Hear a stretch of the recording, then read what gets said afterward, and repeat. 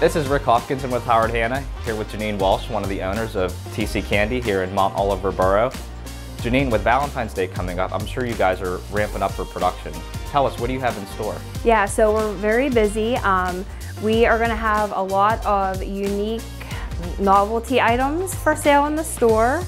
Uh, we're going to have a Valentine's Day bomb box, which consists of two hot chocolate bombs for you and your friend to share. We have different sized heart-shaped boxes filled with assorted chocolates.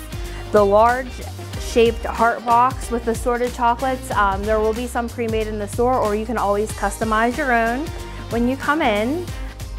We also have uh, foiled roses that you can add to any purchase just to spruce it up a little bit. And um, we will also have fresh chocolate covered strawberries um, in store.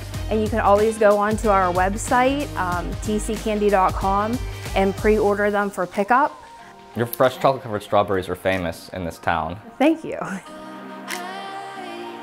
Again, I'm Rick Hopkinson. We're here at TC Candy in Mount Oliver Borough, 101 Brownsville Road.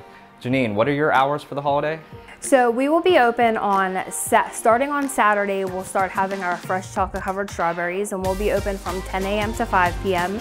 And we'll also be open on Sunday, February 11th from 11 to 3. And then closer to Valentine's Day, um, the 12th, 13th, and 14th, which is Monday, Tuesday, and Wednesday, we'll be open from 10 a.m. to 8 p.m.